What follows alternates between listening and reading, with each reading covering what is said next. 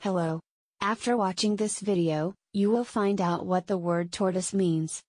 Any herbivorous terrestrial chelonian reptile of the family Testudinidae, of most warm regions, having a heavy dome-shaped shell and clawed limbs. Usually herbivorous land turtles having clawed elephant-like limbs, worldwide in arid area except Australia and Antarctica.